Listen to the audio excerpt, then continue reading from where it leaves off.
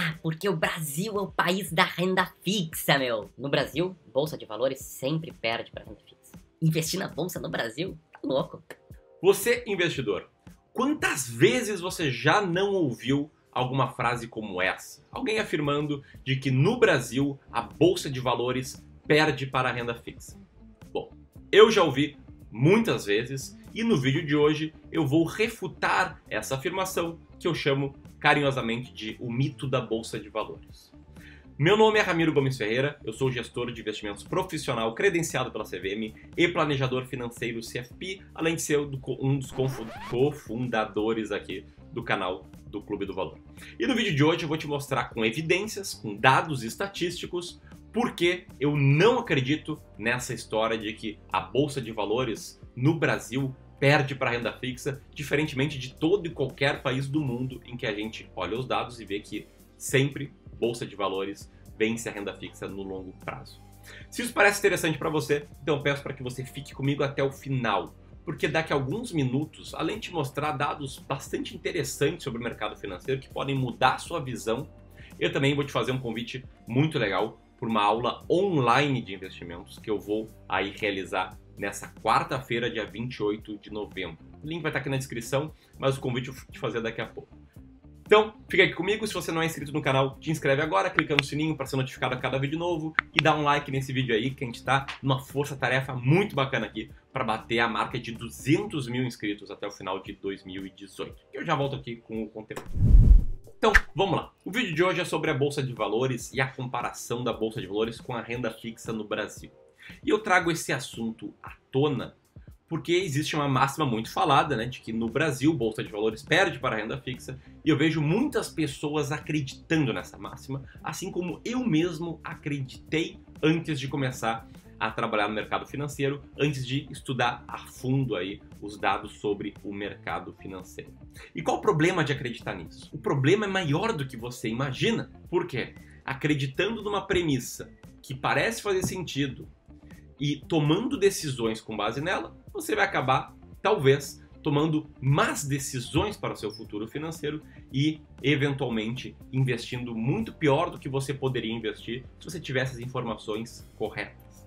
Beleza? Então, antes de mostrar aqui os dados, eu queria te explicar mais ou menos o porquê desse mito ser acreditado por muitos. E o porquê é muito simples. Se a gente pegar um prazo de mais ou menos 23 anos, desde janeiro de 95 até agora, final de 2018, comparar um ativo que renda 100% do CDI, que é o principal indicador da renda fixa, com o Ibovespa, que é o principal indicador da bolsa de valores, de fato o CDI vence o Ibovespa nesse período. Ah, mas peraí, Ramiro, você não acabou de falar que a bolsa de valores vence a renda fixa? Sim, eu já vou chegar lá. Bom, o fato do Ibovespa perder para o CDI desde 95 acaba né, levando muitos a crer que bolsa de valores no Brasil não vale a pena, de que renda fixa é melhor, etc. e tal. Mas eu vejo dois grandes problemas aí nessa comparação. O primeiro é o prazo de análise. Tudo bem, 23 anos é muita coisa, mas quando a gente fala de bolsa de valores, quando a gente fala de investimento de longo prazo, quando a gente fala em pensar em investimento como um legado que a gente vai deixar para nossa família, para os nossos sucessores, a gente tem que olhar sim o maior prazo possível. Se a gente for olhar desde o início do Ibovespa, desde o final ali dos anos 60 até agora, comparando ele com a overnight e evidentemente, né, deflacionando ambos, porque, bom, teve período aí de hiperinflação, o Ibovespa vence a renda fixa. Isso é fato. Mas, desde o plano real, de fato, é, o 100% CDI venceu o Ibovespa. E para explicar isso, é bom você entender um pouco como é que funciona né, uma carteira teórica, um índice como o Ibovespa. O índice nada mais é do que uma carteira teórica de ativos que é selecionada com base em alguns critérios.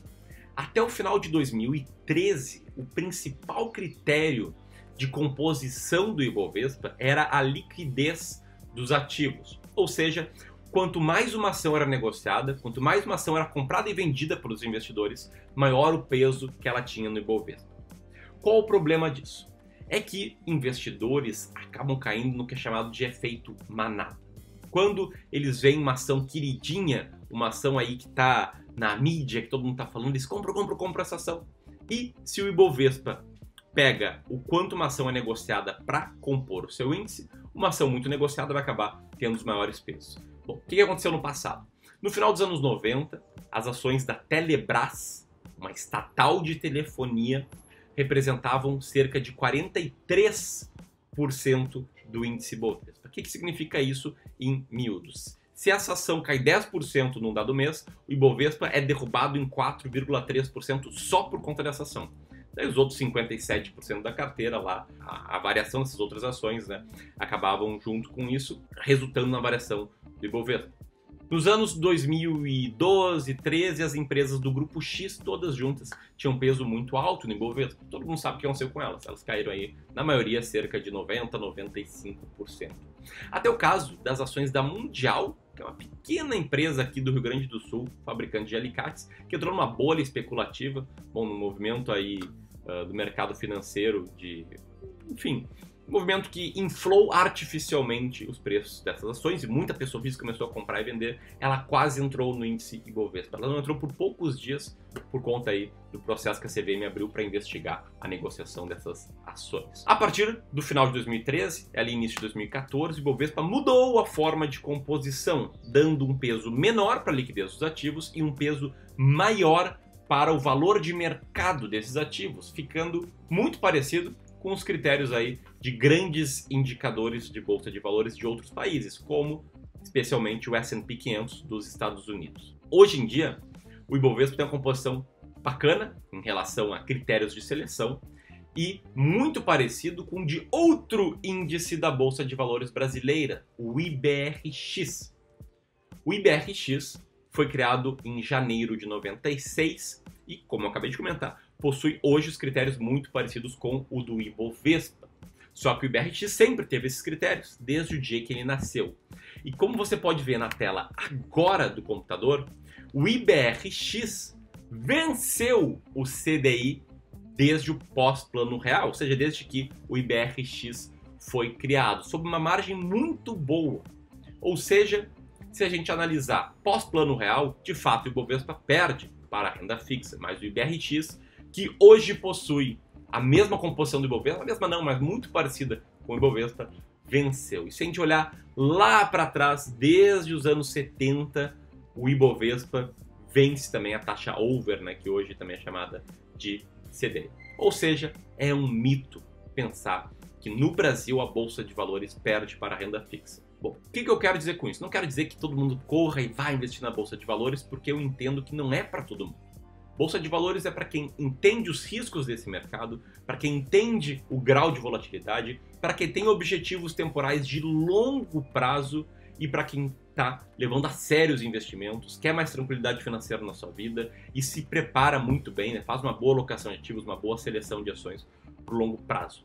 Mas a grande questão é que acreditar nesse mito pode te afastar dessa fantástica classe de ativos que é a classe de ativos de ações que é muito boa para todo mundo que tem um longo horizonte temporal pela frente. E esse é só um dos mitos do mercado financeiro. Eu preparei uma aula muito legal, que na verdade é uma palestra que eu fiz aqui em Porto Alegre há algumas semanas sobre o mercado financeiro, onde eu mostro três mitos do mercado financeiro que provavelmente você acredita e mostro como eles podem prejudicar a sua tomada de decisões financeiras, ou seja, como eles podem prejudicar o seu processo como investidor, o seu trabalho como investidor. Eu vou transmitir gratuitamente essa palestra nessa semana, no dia 28 de novembro, às 21 horas. E o link para inscrição vai estar aqui nesse card e aqui na descrição desse vídeo. Eu, se fosse você, não perderia essa oportunidade incrível ver um material aí bastante seleto, alguns estudos que a gente fez, é muito dado estatístico, é muita evidência empírica para te mostrar aí como algumas crenças do mercado financeiro estão incorretas, também te orientar para que você não apenas entenda a verdade por trás dos números, como também passe a tomar boas decisões de investimento. Então, a gente tem esse compromisso aí, quarta-feira, às 21 horas. Se inscreva, que a gente não vai rodar semana que vem, não vai rodar toda hora essa palestra. Só quarta-feira, às 21 horas, e o conteúdo tá assim fantástico. Beleza? Eu agradeço aí a sua presença aqui nesse vídeo. E agora eu peço para que você deixe um comentário dizendo o que você achou desses dados, desse conteúdo aqui e também comentando o que você quer ver no futuro aqui no Clube do Valor. Grande abraço e até a próxima. Tchau, tchau.